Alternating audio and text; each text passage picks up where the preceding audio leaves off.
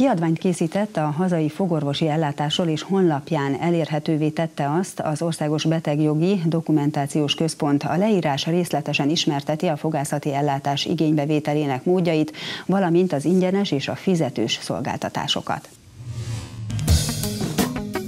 A dokumentum, amely az OBDK honlapjáról letölthető, a fogorvosi alapellátás és szakellátás igénybevételi lehetőségei mellett tájékoztatást ad az iskola és ifjúságegészségügyi ellátásról, valamint a fogorvosi ügyeletek rendjéről és ismerteti a fogyatékkal élők kezelésének részleteit is.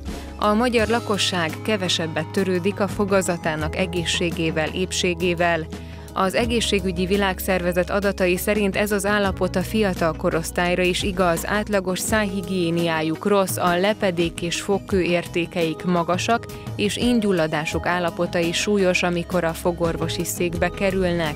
Egy Magyarországon végzett szűrővizsgálat szerint a 7 évesek csupán 33%-ának, a 12 évesek csak 20%-ának volt teljesen épp az ínye, és nem volt ínyvérzése. Tudni kell, hogy a fog- és ínybetegségek komoly szövődményekkel is járhatnak, vagy más szervi betegségekre is utalhatnak sokszor. Az OBDK tájékoztató kitér a terület finanszírozási rendjére is, így sorban ismerteti a térítésmentesen részleges térítés mellett, valamint díjszabás ellenébe igénybe vehető fogászati szakszolgáltatásokat.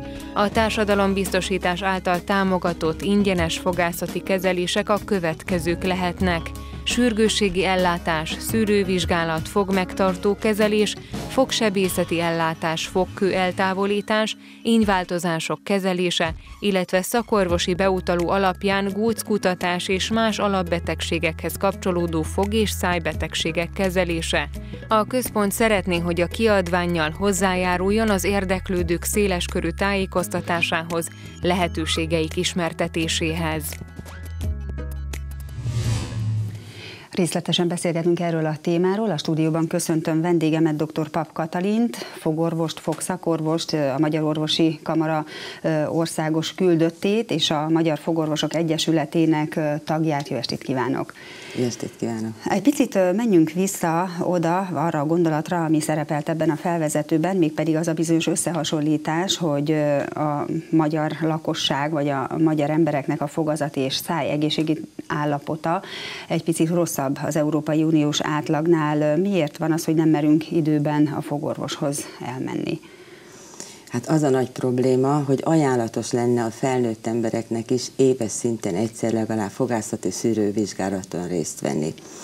És akkor kitudódna, hogy kezdődik-e valamilyen fogászati problémája. De sajnos csak akkor mennek a betegek, illetve az emberek fogorvoshoz, hogyha problémájuk van, ha fáj a foguk. Igen, hát ez utóbbi esetében leginkább, amikor már fogfájásról van szó, vagy olyan betegségről, amit mindenképpen kezelni kell. Egyébként egy fogászati szűrővizsgálat miből áll? Hogyan néz ki egy ilyen vizsgálat, milyen időközönként, tehát ez az egy év, ez a felnőttekre vonatkozik természetesen, érdemes felkeresni a fogorvost. Hát végignézünk minden fogat, a szájképleteket, a nyálkahártyát, már azért is fontos ezt a vizsgálatot megcsinálni, mert Magyarországon hatszorossára nőtt a szájüregi daganatos megbetegedések száma. Úgyhogy lassan vezető szerepet kapunk Európába. Ezért nagyon ajánlatos lenne minden lakosnak a körzetéhez tartozó, tehát a körzeti fogorvosához éves szinten legalább egyszer elmenni. Hogyan történik egy ilyen vizsgálat, milyen eszközökkel, hiszen az orvostechnika az rohamosan fejlődik, és hát a fogászati vonalon is jellemző ez természetesen. Hát eddig is tükörrel, szondával, csipesszel végig néztük a fogak érzékenységét, megnéztük, röngent készítettük, amiért nem kell fizetni, ezekért a dolgokért nem kell fizetni a szűrővizsgálatért.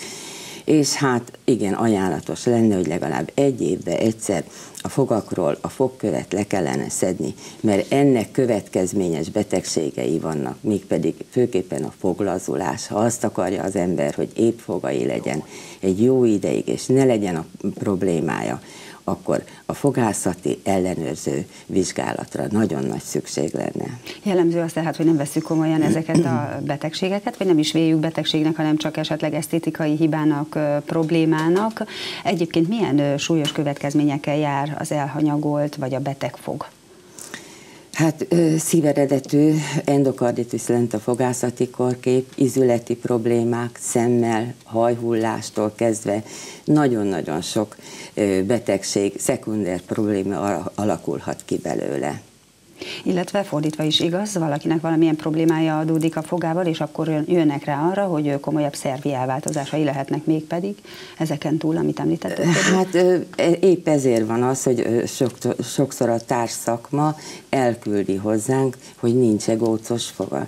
És akkor mi meg elküldjük röngenre, és akkor így meglátjuk azt, hogy valami probléma már okozhat-e a fog. Egy másik oldalát, hogyha nézzük ennek a témának, akkor ugye nem véletlenül készült el ez a bizonyos kiadvány is, amiről szó volt ebben a kis felvezető anyagban. Azért készült el, mert az emberek nagy része még mindig tájékozatlan azzal kapcsolatosan, hogy milyen ellátást kaphat meg ingyen, tehát 100%-ig a TB támogatja a fogászati ellátások nagy részét, és mi az, amiért fizetni kell. Sokan azt mondják, hogy a jó fogak, az egészséges fogak pénzbe kerülnek egy idő után, hogyha megbetegszik a fog. Hát akkor már, ha kialakult a betegség és pót pótolni kell. De a fogmegtartás ingyenes. A fogmegtartás alatt értem én a fogtömést, a gyökérkezelést, a foghúzás ingyenes, a fogkőleszedés ingyenes, tehát a depurálás és mindenféle ínykezelés. A fogászati szűrővizsgálat ingyenes. A fogpótlásnál a 62 éven felüliek kapnak támogatást a rágó funkció helyreállítására tehát ott is van egyfajta van segítség, van egyfajta igen. támogatás a kezeléshez. Milyen kezelésekért kell fizetni? Hogyha a másik oldalt is megnézzük, akkor Hát kezelésekért, ami fogmegtartást jelent, nem kell fizetni. Miért van az ön szerint, hogy nagyon sokan nem a körzetben vagy a körzetükhöz tartozó fogászatot keresik fel, hanem egyből, hogyha probléma van, vagy valamilyen, bármilyen kezelést szeretnének, fogászati kezelést, akkor a magánpraxist választják. Ugye sokan megtehetik ezt nyilvánvalóan, hogy fizetnek a kezelésért, az ellátásért, de talán jobban megbíznak, vagy egy alaposabb ellátásra számítanak? A fogászatban nincs szabad orvos választás. Na most ez is a fogászati beavatkozás is egy bizalmi dolog.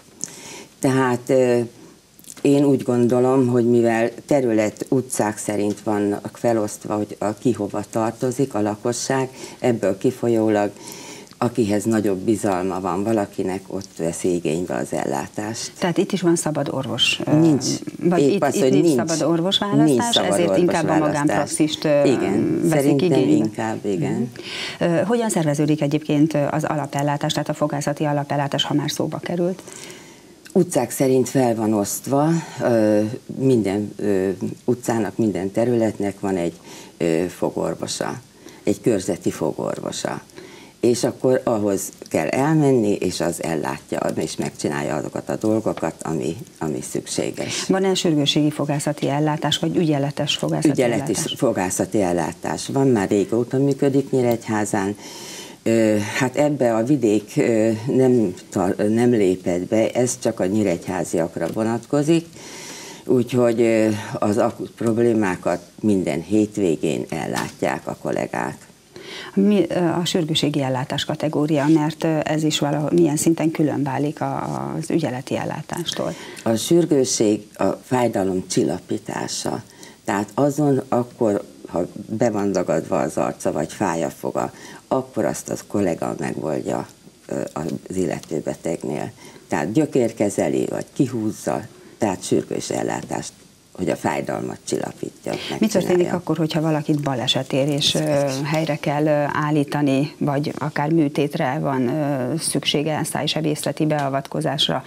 Ezt milyen kategóriába sorolják? Ez is egy gyakori kérdés akkor, amikor a térítésmentesség, vagy a térítés ellenében elvégezendő műtétek szóba kerülnek. Vagy a szájsebészeten minden olyan műtétet megcsinálnak, ami minden ingyenes műtétet megcsinálnak, ami a szükséges a beteg egészségének. Van-e még olyan, hogy részleges fizetési kötelezettség, vagy ez már egy elavult fogalom? Régen volt a koppément, a töméseknél egy bizonyos összeget kellett kifizetni pótlásnak, de ez most már nincs. Indul a szeptember, kezdődik a tanév, indul az iskolafogászat is. Milyen jellegű szűrőprogramok, illetve felvilágosító programok vannak a kisiskolások számára? Hogyan végzik ezt az iskolafogászat keretein belül? Az iskolafogászatban is a fogmegtartás ingyenes, a tömés, gyökérkezelés, foghúzás.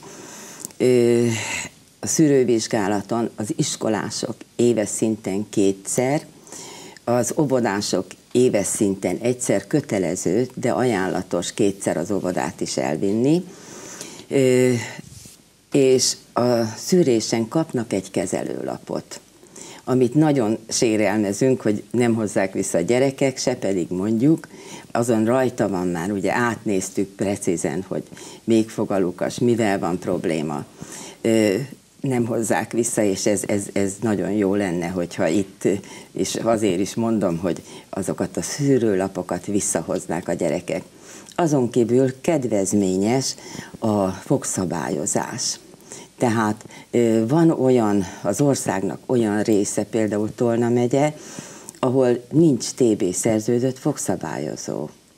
Tehát ezt értékelni kell, mert ebbe a megyébe több fogszabályozó működik, és TB finanszírozással, és nagyon jól működik. Tehát a szülőknek érdemes erre odafigyelni, hogy az iskolafogászat után a rendelőt is keressék föl, hogyha arra szükség Igen. van. Köszönjük szépen, hogy eljött hozzánk. Nagyon szívesen.